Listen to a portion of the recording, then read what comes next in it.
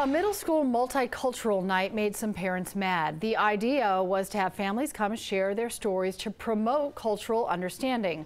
But several parents in Fulton County emailed us upset about the map of a Middle East that was on display there. This is the map of the Middle East that they're talking about. Where present day Israel should be, it shows Palestine. The Israel-Palestinian conflict goes back decades with both sides arguing over who owns rights to the land. Several Israeli and Jewish parents say the map is highly offensive and brought it to the attention of Autry Middle School's principal.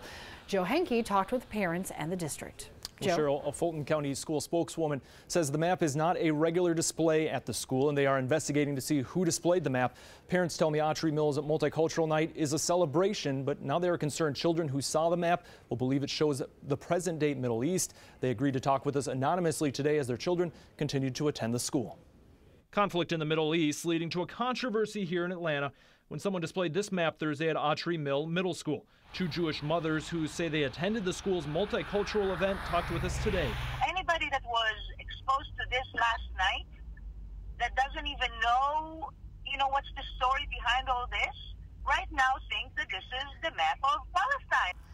Israel was not mentioned on that map at all they basically wrote Palestine in the place of Israel. They talk about the Palestinians um, from the land to the sea, which means um, having all of the Jews uh, wiped away and the Palestinians yeah. on that land instead. These images show a table representing Israel at the event with cultural pictures, food, and books. The mothers say parents brought the map to the principal's attention Thursday night, but say it stayed up. That nobody in the school was going over the content of the material that is being presented. Today, Principal J.E. Trey Martin sent a letter to parents. He wrote 500 people attended and more than 15 countries were represented, but added he was, quote, extremely disappointed and disgusted with the individuals who presented an insensitive political and geographic representation. This display does not represent our school culture, which is one that values inclusion and unity. Talk to a Palestinian American about the map, though, and you can find a different viewpoint. Reverend Fahed Abu-Akel is an Arab American living in Atlanta for 50 years.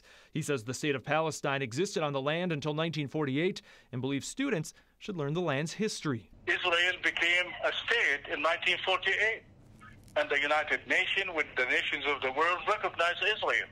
That's a fact, but you cannot deny that, that the Palestinians do not exist and the state of Israel became a state over the state of Palestine. The parents I talked with today, though, do not believe politics or conflict belongs at the middle school event. The principal also wrote in his letter he is working with district leaders to investigate and will take necessary actions. A Fulton County school spokeswoman tells me the district is discussing options for reviewing materials at future multicultural events, but have not made any decisions thus far.